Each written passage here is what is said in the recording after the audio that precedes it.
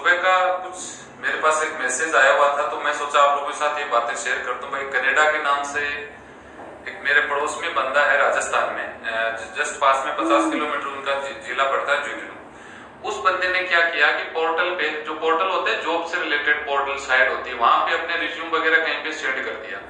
Direct Canada से mail आया सुबह पाँच बजे। अब मेल भी सुबह पाँच बजे आता है, क्योंकि भाई इंडिया में जब नाइट होती है तो वहाँ तो दिन होता है। यूरोप कंट्री में लगभग यही स्थिति होती है। तो वहाँ से मेल आया कि भाई आपका सिलेक्शन हो चुका है ऑफ़र लेटर आपका आ चुका है, जल्दी से सिग्नेचर करके भेज दीजिए और अपना काम प्रोसेस में आप करवाइए। तो अब उसको मिला क्या, इसमें मैं बता दू? मात्र पंद्रह दिन में उसका कनेडा का ऑफ़र लेटर आ गया बिना इंटरव्यू यानी इंटरव्यू उसका सिर्फ़ फ़ोन पे हुआ था पूछा क्या नाम है क्या करते हो आपको गाड़ी वगैरह चलानी आती है तो बंदा ने बोला हाँ तो उसके हिसाब से, देखिए, बिना इंटरव्यू उसका ऑफ़र आ गया। सैलरी है नौ हज़ार सी ए टी यानी कनेडियन करेंसी नौ हज़ार। नौ हज़ार का कितना बनता है भाई? छह सात लाख रुपए महीना आपकी सैलरी रहेगी। फ़ोन पर इंटरव्यू हुआ, कोई झंझट नहीं, सिर्फ़ फ़ोन पर इंटरव्यू दे दिया, बंदे को सिलेक्ट कर लिया गया और ये सिस्टम आ गया कनेडा से डायरेक्ट कॉल आया। अब ये रहना, खाना, सब कुछ मिल रहा है।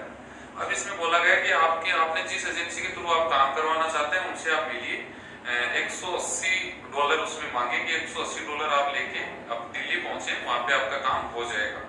अब यार समझ में 180 का कितना बनता है? लगभग तेरह चौदह हज़ार रुपए बनता होगा। अब सोचने की बात यह है, उस बंदे ने मुझे पूछा, सर, क्या है ये? तो भाई, क्या लगता है? आपको आपको बोले कि हालाँकि ये बहुत सारे लोगों के साथ ये होती है। रोज मेरे पास ऑफ़र लेटर आते हैं, सबका तो मैं चेक नहीं कर पाता। जो मेरे से फ़ीस वगैरह बात होती है तो मैं उनका बता देता हूँ। हंड्रेड परसेंट वो ऑफ़र लेटर एडिट किया गया था। एडिट में होता क्या है कि same system offer letter original होता है, लेकिन उसको एडिट किस तरह से करते हैं, क्या करना होता है? नाम चेंज करना पासपोर्ट और आप जैसे कंप्यूटर ऑपरेटर हो तो उसको काट के ड्राइवरी लिख दिया इलेक्ट्रिसिटी लिख दिया नंबर लिख दिया सैलरी काट दी अब सैलरी कुछ नहीं, या तो भूल कर दी उन्होंने कि कनेडा में नौ हज़ार सी तनख्वाह मिलती है क्या? वहाँ की साढ़े छह लाख रुपए सैलरी मिलती है ड्राइवरी में। अमेरिका में लोग तीन लाख के करीब कमाते हैं तो कनाडा में इतना सैलरी कहाँ से मिल जाएगी तो हो सकता है वो ऑफ़र लेटर कोई बड़ी जॉब का होगा इन्होंने इस बात पे ध्यान नहीं दिया तो ये सेम टू सेम सैलरी वही रह गई।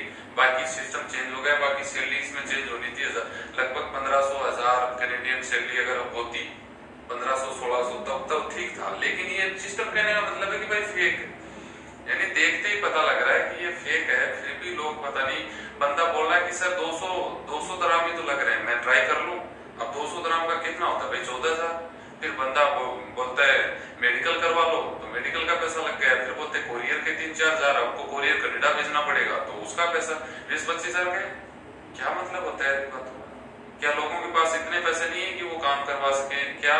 तो भाई, देखिए शॉर्ट में मेरा सिर्फ़ ये वीडियो बनाने का मकसद ये है कि आपके पास भी अगर ऐसा कुछ होता है, ऐसे ऑफ़र लेटर आते हैं तो उसको चेक करें। थोड़ा सावधानी से पढ़ते हैं, तब जाके समझ में आएगी कि सच्चाई क्या है। बाकी इसमें तो कुछ भी लिखने से नहीं होता। तो इस तरह से ऑफ़र लेटर अगर आपके पास भी आ रहे हैं तो थोड़ा सा आप देख लीजिए हंड्रेड परसेंट फेक ही होंगे।